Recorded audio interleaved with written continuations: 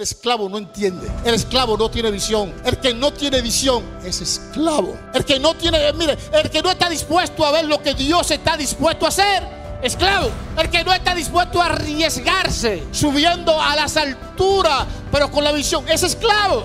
El esclavo no ve la protección. El esclavo se perturba con el asedio. El esclavo es el que te dice, y tú no vas a hacer nada.